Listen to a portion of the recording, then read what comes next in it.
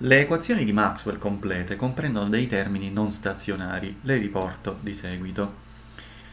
La prima, il teorema di Gauss per il campo elettrico, flusso del campo elettrico attraverso una superficie chiusa S uguale carica totale presente dentro la superficie diviso ε con 0, la costante dielettrica. La seconda equazione, circuitazione del campo elettrico lungo una curva chiusa uguale non a 0 come nel caso stazionario, ma a meno derivata del flusso del campo magnetico concatenato con la linea chiusa lungo la quale si calcola la circuitazione rispetto al tempo. Terza equazione, flusso del campo magnetico attraverso una superficie chiusa S uguale 0. Quarta equazione, circuitazione del campo magnetico lungo una linea chiusa uguale μ con 0 per la corrente totale concatenata con la linea chiusa più il termine della corrente di spostamento μ con 0 ε con 0 derivata del flusso del campo elettrico rispetto al tempo flusso del campo elettrico concatenato con la linea chiusa lungo la quale si sta calcolando la circuitazione, esattamente con lo stesso criterio con cui si calcola il flusso del campo magnetico e la sua derivata nella seconda equazione per calcolare la circuitazione del campo elettrico. I termini non stazionari a cui facevo riferimento sono questo, derivante dal fenomeno dell'induzione elettromagnetica, e questo, derivante dal fenomeno della corrente di spostamento. L'intensità di corrente di spostamento è determinata da questo termine qui. In pratica nel determinare la circuitazione del campo magnetico contribuiscono sia la corrente reale concatenata con la linea chiusa che la corrente di spostamento. Ora, proprio questi due termini non stazionari sono alla base del fenomeno della propagazione delle onde elettromagnetiche. Lo abbiamo accennato nella scorsa lezione sulle equazioni di Maxwell e sui due fenomeni che abbiamo citato. Esattamente eh, andiamo a esaminare il caso in cui non ci siano delle cariche nella regione di spazio esaminata e non ci siano delle correnti elettriche. Quindi gli unici fenomeni in natura elettromagnetica che possono, essere, possono coinvolgere la regione di spazio interessata sono fenomeni di natura non stazionaria legati alle variazioni nel tempo del campo elettrico e del campo magnetico. Quindi possiamo semplificare queste equazioni ipotizzando che non ci siano eh, cariche elettriche nello spazio e non ci siano mh, correnti elettriche. Eh, in questo caso tanto la prima quanto la terza equazione ci danno un flusso nullo. Io per il momento riporto soltanto le equazioni che, che mescolano eh, il campo elettrico insieme al campo magnetico in un modo quasi simmetrico. Le due equazioni della circuitazione. Circuitazione del campo elettrico uguale meno derivata del flusso del campo magnetico concatenato rispetto al tempo e circuitazione del campo magnetico uguale a eh, μ con 0 ε con 0 derivata del flusso del campo elett elettrico concatenato rispetto al tempo. Come vediamo, al di là del segno o di alcune costanti presenti per dare la, le corrette dimensioni alla grandezza calcolata, eh, sostanzialmente sono abbastanza simmetriche queste equazioni. La prima calcola la circuitazione del campo elettrico utilizzando la derivata rispetto al tempo di una grandezza legata al campo magnetico. La seconda calcola la circuitazione del campo magnetico attraverso la derivata rispetto al tempo di una grandezza legata al campo elettrico. Sono proprio queste due equazioni che mescolano insieme i due campi e determinano il fenomeno della propagazione delle onde elettromagnetiche. In cosa consiste questo fenomeno? Beh, è chiaro da queste due equazioni che una variazione nel tempo delle caratteristiche del campo magnetico può determinare la generazione di un campo elettrico e viceversa. Un campo elettrico variabile nel tempo può determinare la generazione di un campo magnetico. Quindi i due fenomeni dell'induzione elettromagnetica e della corrente di spostamento sono alla base di una ripetuta e continua generazione reciproca del campo elettrico tramite il campo magnetico e del campo magnetico tramite il campo elettrico. Ora, per eh, discutere senza far uso di complicati procedimenti matematici, ma in modo qualitativo, il fenomeno del, della generazione e propagazione delle onde elettromagnetiche, consideriamo una carica elettrica, per esempio un elettrone, quindi con carica elettrica pari alla carica elementare compresa col segno meno, che sia in movimento. Supponiamo per il momento che questo elettrone si muova di velocità costante v. Sappiamo già che le linee di forza del campo generato da una carica puntiforme sono semirette che partono dalla carica. Stiamo parlando del campo elettrico. Quindi una carica, anche ferma nello spazio, genera un campo elettrico con struttura radiale. Una carica negativa in particolare ha linee di forza che sono orientate verso la carica.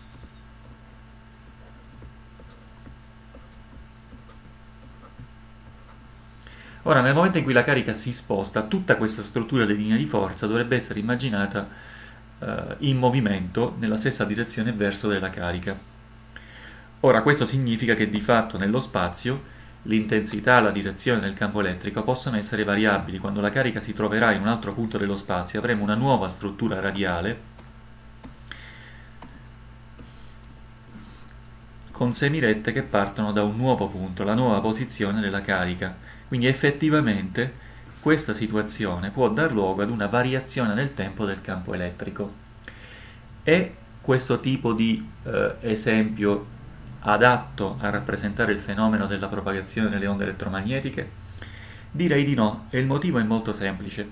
Se la carica si sta muovendo di modo uniforme, possiamo sempre immaginare di riesaminare il fenomeno dal punto di vista di un nuovo sistema di riferimento che sia solidale con la carica elettrica. In questo sistema di riferimento la carica elettrica risulta ferma. Ora se i due sistemi di riferimento sono in moto relativo l'uno rispetto all'altro con una velocità costante v, di fatto se uno dei due è un sistema di riferimento inerziale, lo è anche l'altro. Abbiamo imparato che in relatività vale il principio di relatività, cioè le leggi della fisica hanno la stessa forma in ogni sistema di riferimento inerziale e inoltre il cambio di sistema di riferimento non può cambiare il fatto che un determinato fenomeno abbia luogo o no, può cambiare i risultati delle misure, cioè il valore delle grandezze eh, misurate, campo elettrico, campo magnetico in questo caso, può cambiare cambiando sistema di riferimento. Però il fatto che venga generata un'onda elettromagnetica oppure no non può dipendere dal sistema di riferimento, inerziale rispetto al quale si stiano facendo le misure. Di conseguenza una carica elettrica in movimento dà sì luogo ad una situazione in cui si hanno dei cambiamenti nel tempo del campo elettrico e quindi possibilmente anche la generazione di un campo magnetico perché una carica elettrica che si muove di fatto costituisce una sorta di corrente elettrica. Però non siamo in presenza di un fenomeno non stazionario che sia di interesse nell'ambito di queste equazioni per generare un'onda elettromagnetica. Diverso è il caso in cui una carica puntiforme, come abbiamo detto per esempio un elettrone, sia sottoposta ad una forza F, per esempio attraverso una forza elettrica o una forza di Lorentz o qualunque altra forza che agisca su questa carica, e che quindi questa particella carica subisca un'accelerazione, ovviamente nella stessa direzione della forza. Se la carica subisce un'accelerazione, si muove sì, come prima, ma con una differenza. Se abbiamo un'accelerazione, la velocità di questa carica non è costante. Di conseguenza non possiamo trovare un altro sistema di riferimento inerziale in cui la carica risulta ferma. Quindi non possiamo applicare quanto stabilito dalle nostre conoscenze sulla relatività ristretta. Cioè non possiamo affermare che i due sistemi di riferimento, un sistema di riferimento eh, di laboratorio nel quale stiamo osservando la presenza di questa accelerazione, e un sistema di riferimento solidale con la carica siano equivalenti dal punto di vista dell'osservazione del fenomeno. Nell'ambito della relatività ristretta non è così. Il, il, sistema di riferimento solidale con la carica in questo caso non è un sistema di riferimento inerziale, in quanto un è un sistema accelerato. Di conseguenza non c'è la simmetria dal punto di vista delle caratteristiche delle nostre osservazioni che abbiamo già osservato eh, nel caso della, della carica in modo uniforme. Quindi nel caso di, un, di una carica accelerata, effettivamente abbiamo la possibilità di avere fenomeni non stazionari e di fatti è possibile dimostrare, non lo faccio con i dettagli matematici, che queste equazioni prevedono nel caso di una carica eh, sottoposta ad accelerazione la generazione di una onda elettromagnetica. Ma che cos'è un'onda elettromagnetica? Un'onda elettromagnetica è un fenomeno ondulatorio. Nel caso delle onde elettromagnetiche si ha la propagazione di una perturbazione nelle proprietà del campo elettromagnetico. Immaginiamo ad esempio che in un certo istante venga generato un campo elettrico in una regione di spazio, un campo elettrico che cambia nel tempo. Quindi io disegno, traccio a titolo di esempio un vettore campo elettrico dovuto al fatto che c'è una carica accelerata. Questo campo elettrico cambia nel tempo. Il termine dell'equazione di Maxwell legato alla derivata rispetto al tempo del flusso del campo elettrico, quindi quello legato alla corrente di spostamento, diventa significativo in questo caso. Nel momento in cui ci sono campi elettrici variabili nel tempo, la derivata rispetto al tempo di una qualunque funzione che dipende dal campo elettrico può essere diversa da zero. E questo termine dà luogo alla generazione di un campo magnetico. Infatti nell'equazione noi vediamo che c'è una circuitazione di campo magnetico che risulta essere diversa da zero nel momento in cui questa derivata è diversa da zero. Quindi il termine di corrente di spostamento nel momento in cui si ha un campo elettrico variabile può dar luogo alla generazione di un campo magnetico. E allora nella stessa regione di spazio abbiamo un campo magnetico con caratteristiche che dipendono da punto a punto, la cui intensità cambia proporzionalmente a questo termine di corrente di spostamento.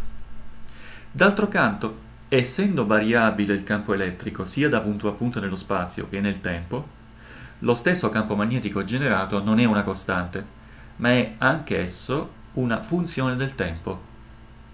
A questo punto il termine dell'equazione di Maxwell corrispondente al fenomeno dell'induzione elettromagnetica, cioè quello dipendente dalla derivata del flusso del campo magnetico rispetto al tempo, dà luogo alla generazione nei vari punti dello spazio di un campo elettrico, di un nuovo campo elettrico. Quindi abbiamo questo termine, derivato del flusso del campo magnetico rispetto al tempo, che dà luogo alla generazione di un campo elettrico.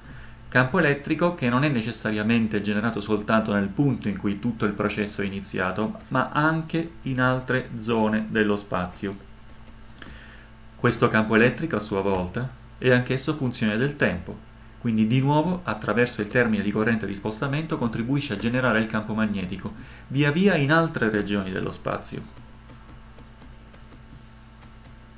Questo campo magnetico generato è dipendente dal tempo e dà luogo attraverso il fenomeno dell'induzione elettromagnetica alla generazione in regioni di spazio sempre più lontane del campo elettrico. Quindi anche il campo elettrico viene rigenerato continuamente in altri punti dello spazio.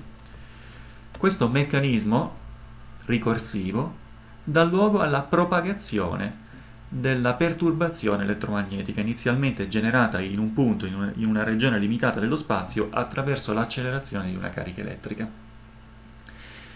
A questo punto, poiché non, la carica non, viene, non è necessariamente spostata in regioni lontane dal punto in cui inizialmente tutto il processo è iniziato, il campo elettromagnetico generato in questo modo di fatto ha vita a sé, continua ad autorigenerarsi in regioni sempre più lontane, esattamente come fa una qualunque altra perturbazione meccanica che si propaghi attraverso un mezzo.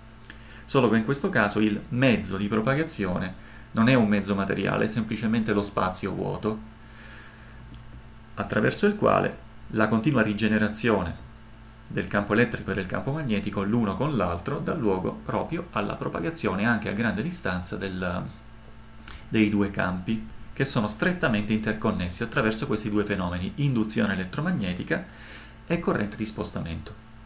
Con quale velocità si propaga la perturbazione?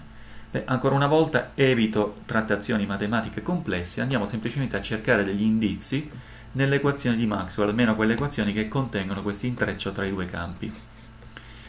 Vediamo subito che in queste equazioni compaiono due costanti caratteristiche dei fenomeni elettrici e magnetici, la costante dielettrica ε con 0 e la permeabilità magnetica μ con 0. Solo che queste due costanti compaiono contemporaneamente nella stessa equazione, in particolare nell'equazione comprendente la, corrente, comprendente la corrente di spostamento, compaiono insieme e insieme contribuiscono a determinare il valore della velocità di propagazione delle onde. Non faccio alcuna dimostrazione matematica, dico solo che proprio ragionando su queste due equazioni e sul fatto che comprendono questi coefficienti, se si va ad esaminare il fenomeno in modo completo, si verifica che la velocità di propagazione dipende proprio da queste due costanti ed è pari a c uguale a 1 sulla radice quadrata di ε con 0 per μ con 0. Se si prendono i valori conosciuti di queste due costanti, 1 su radice di 8,854 per 10 alla meno 12 coulomb al quadrato fratto newton per metri quadri e si moltiplica per 4 pi greco per 10 alla meno 7 newton su ampere al quadrato che è il valore della permeabilità magnetica nel vuoto. Si ottiene il valore della velocità della luce. Andiamo a verificare. Intanto newton e newton si va a semplificare. Coulomb al quadrato fratto ampere al quadrato. Ricordiamoci che ampere è una corrente elettrica. E quindi la carica elettrica può essere vista come prodotto di una corrente per un tempo. Quindi ampere per secondi è uguale a coulomb. Quindi il rapporto a coulomb al quadrato su ampere al quadrato è pari a ampere al quadrato per secondi al quadrato fratto ampere al quadrato. Ecco che in parte coulomb al quadrato e ampere al quadrato si semplifica e dà luogo a secondi al quadrato. Quindi cancelliamo queste due ma facciamo comparire un secondi al quadrato. Quindi abbiamo secondi al quadrato su metri quadri che sta al denominatore. Passando al numeratore diventa metri quadri su secondi al quadrato. Ed è tirando fuori il tutto dalla radice quadrata salta fuori un metri su secondi, cioè esattamente l'unità di misura della velocità nel sistema internazionale. Poi abbiamo 10 alla meno 12 per 10 alla meno 7 che fa 10 alla meno 19. Vediamo di esaminare la parte numerica adesso. C'è un 10 alla meno 19, poi abbiamo un 8,854 per 4π greco. Prendiamo a prestito una calcolatrice.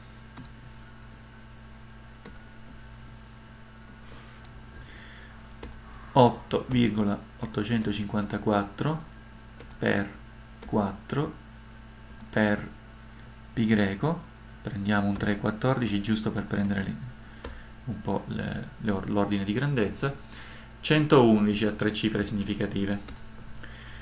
Quindi abbiamo 111 per 10 alla meno 19 diventa 1,11 eh, per 10 alla meno 17 o 11,1 per 10 alla meno 18 10 alla meno 18 uscendo fuori dalla radice diventa 10 alla meno 9 ed invertito passando al numeratore diventa 10 alla 9 metri su secondi. Però adesso abbiamo 1 su radice di eh, 11,1 eseguiamo il calcolo. 1 diviso 11,1 sotto radice ci dà 0,300 a tre cifre significative. Lo riportiamo nei nostri calcoli e abbiamo 0,300 per 10 alla 9 metri su secondi e tornando alla notazione scientifica abbiamo 3,00 per 10 alla 8 metri su secondi, cioè esattamente il valore, almeno a tre cifre significative, conosciuto per la velocità della luce. Quindi la velocità con cui si propaga una perturbazione elettromagnetica derivabile dall'equazione di Maxwell corrisponde esattamente con il valore misurato per la velocità della luce.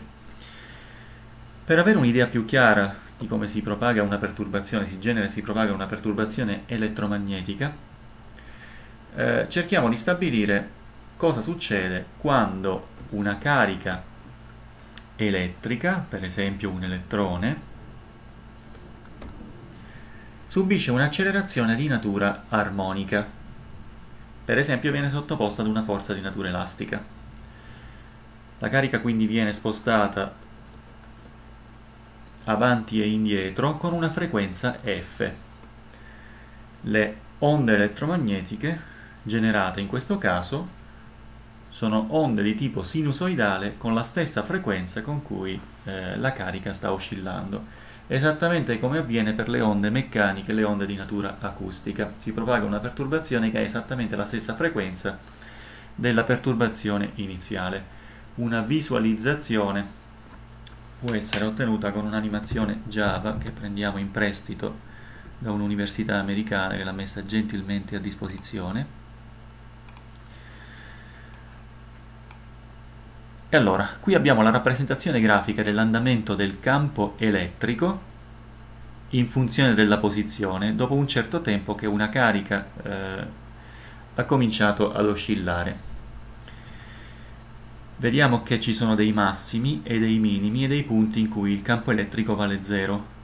Il profilo della variazione da punto a punto è di tipo sinusoidale. Questa è una fotografia scattata ad un determinato istante. Lungo l'asse X, che è la direzione di propagazione del segnale, abbiamo quindi il campo elettrico che segue un profilo sinusoidale. Se adesso andiamo a vedere cosa succede man mano che passa il tempo, lo stesso profilo, come avviene in tutti i tipi di onde, si sposta e i massimi e i minimi, come tutti gli altri punti con fasi diverse dal massimo e dal minimo, si spostano con una velocità pari alla velocità di propagazione dell'onda, che è qui indicata da questo vettore c possiamo visualizzare anche il campo magnetico che in corrispondenza è presente. Anche qui abbiamo un profilo sinusoidale per il campo magnetico. Il campo magnetico ha una direzione perpendicolare, quindi se il campo elettrico ha una direzione, il campo magnetico ha una direzione perpendicolare, ma i massimi e i minimi corrispondono, cioè laddove c'è un massimo per il campo elettrico c'è un massimo anche per il campo magnetico, laddove c'è uno 0 per il campo elettrico abbiamo uno 0 anche per il campo magnetico. Tutte e due i profili ovviamente si propagano nello spazio esattamente come abbiamo visto. Un'altra visualizzazione tridimensionale, questa a gentile concessione di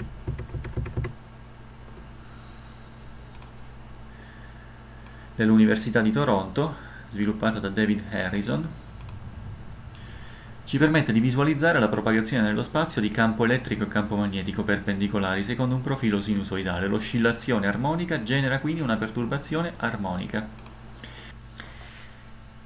Ovviamente non è detto che una carica debba per forza subire un'accelerazione di tipo armonico. Cosa succede se l'accelerazione è di tipo diverso? Per esempio una cosa abbastanza eh, frequente potrebbe essere un'accelerazione dovuta al, al, passaggio di una carica elettrica vicino a un'altra carica elettrica. Per esempio, supponiamo di avere un elettrone che è in moto con velocità v, che viene a trovarsi nella regione di spazio interessata da un campo elettrico generato da un nucleo atomico.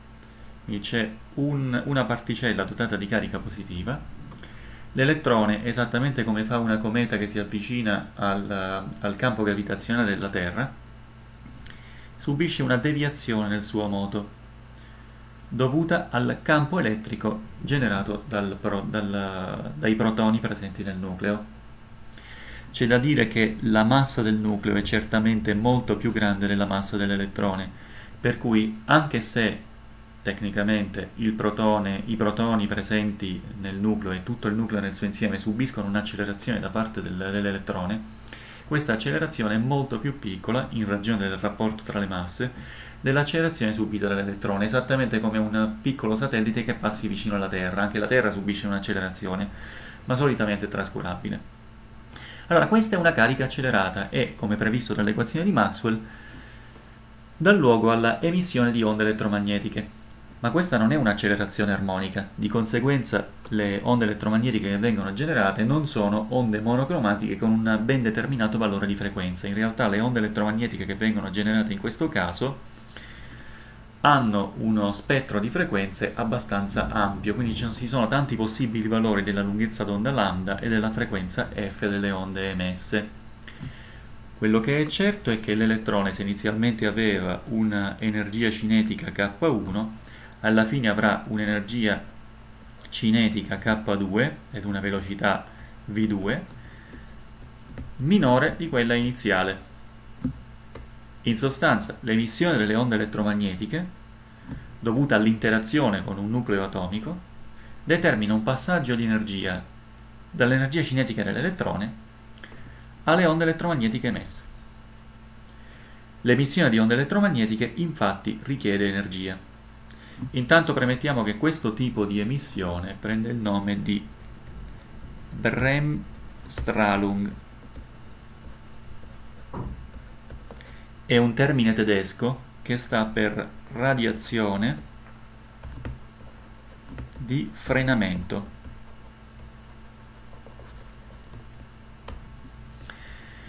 L'elettrone viene frenato in qualche modo, cioè perde energia, e contestualmente abbiamo l'emissione di radiazione elettromagnetica. È un fenomeno che per la maggior parte delle caratteristiche è interpretabile classicamente attraverso le equazioni di Maxwell. Queste onde, abbiamo detto, trasportano energia. Cerchiamo un attimo di rivedere sinteticamente come mai un'onda elettromagnetica debba trasportare energia. Infatti, al campo elettrico come al campo magnetico è associata un'energia. Lo rivediamo un attimo per il caso del campo elettrico. Se abbiamo un condensatore piano tra le cui armature opportunamente caricate si genera un campo elettrico, campo elettrico che sappiamo essere uniforme, sappiamo che per ottenere la carica del condensatore è necessario fornire energia al condensatore attraverso un, un generatore. Il lavoro di carica del condensatore è noto, è pari ad un mezzo per la carica totale presente nell'armatura del condensatore, carica positiva e carica negativa, moltiplicato la differenza di potenziale presente tra le armature del condensatore stesso. L'energia necessaria per caricare il condensatore di fatto può essere interpretata come energia necessaria per creare il campo elettrico presente tra le armature del condensatore. Ricordiamoci che la differenza di potenziale ΔV può essere scritta anche come prodotto del campo elettrico presente tra le armature del condensatore per la distanza tra le armature. Di conseguenza il lavoro di carica è anche pari ad un mezzo per la carica per il campo elettrico per la distanza. D'altro canto la carica presente sulle armature del condensatore è legata al campo elettrico dal fatto che il campo elettrico è direttamente proporzionale alla densità di carica presente sulle armature. Il rapporto Q su S, dove S è la superficie delle armature del condensatore, chiamato sigma, determina proprio l'intensità del campo elettrico. Il campo elettrico è infatti dato da sigma fratto epsilon con 0, cioè Q fratto eh, epsilon con 0 per S. Quindi al posto di Q qui possiamo far spuntare il prodotto del campo elettrico per epsilon con 0 per la superficie delle armature del condensatore. Infatti da qui otteniamo Q uguale epsilon con 0 per S per l'intensità del campo elettrico. Quindi il lavoro di carica del condensatore è pari ad un mezzo epsilon con 0 per la superficie delle armature per il campo elettrico e questa è l'espressione della carica e poi abbiamo ancora il campo elettrico per la distanza. Ora il campo elettrico compare due volte, quindi abbiamo il campo elettrico al quadrato. Invece il prodotto della superficie delle armature per la distanza tra le stesse armature rappresenta il volume racchiuso tra le armature del condensatore.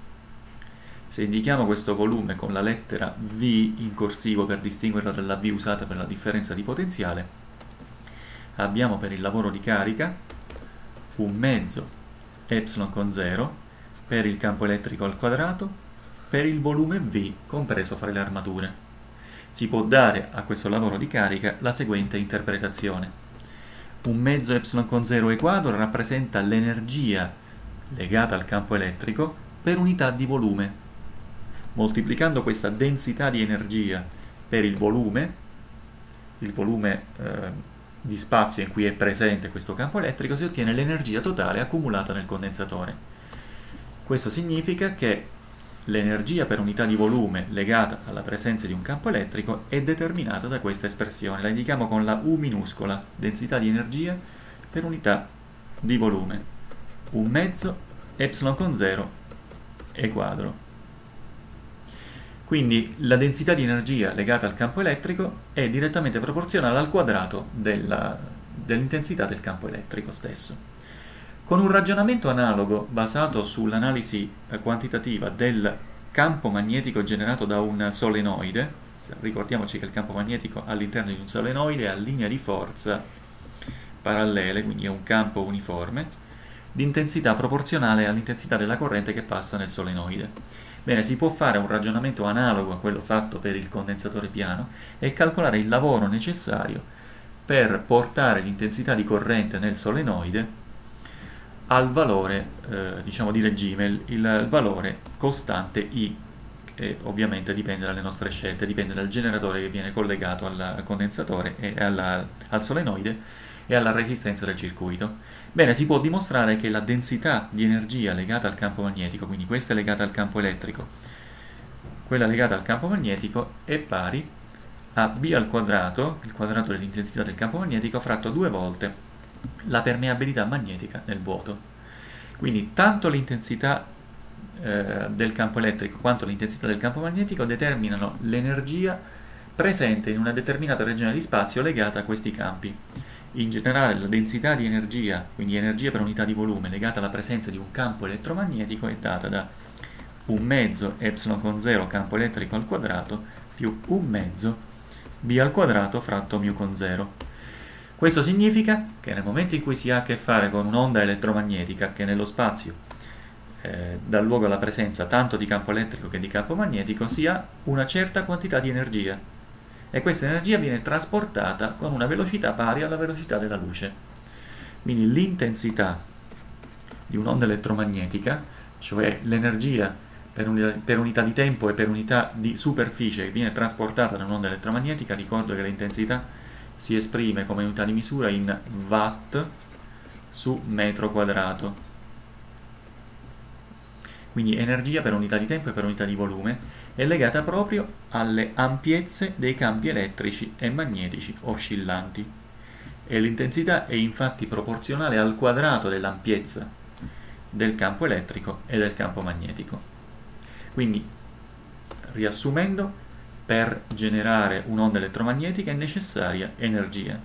L'onda elettromagnetica trasporta energia e quindi una carica che venga eh, sottoposta ad accelerazione, ricordiamo che accelerazione in termine genetico non vuol dire che la velocità sta necessariamente aumentando, in questo caso si ha una deviazione della traiettoria e se si ha emissione di onde elettromagnetiche abbiamo anche una perdita di energia cinetica, alla fine l'elettrone si muove a velocità più bassa rispetto a quella iniziale nell'interazione con il campo elettrico dovuto alla presenza di un nucleo.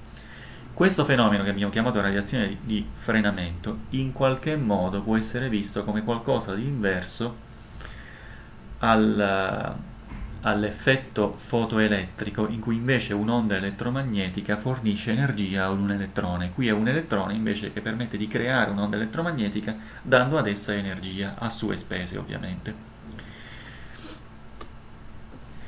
Quello che discuteremo eh, nella prossima lezione è invece che cosa succede quando un'onda elettromagnetica interagisce con una carica. Carica che può essere libera, un elettrone cioè che si muove liberamente nello spazio, o una carica che può essere eh, legata ad un atomo, per esempio un elettrone che ruota attorno ad un atomo di idrogeno, un atomo di piombo o un qualunque altro atomo, qualunque sia la sua natura chimica. I fenomeni che andremo ad analizzare in questo caso permettono di vedere quali sono i limiti della fisica classica nel, nello studiare questo tipo di fenomenologia.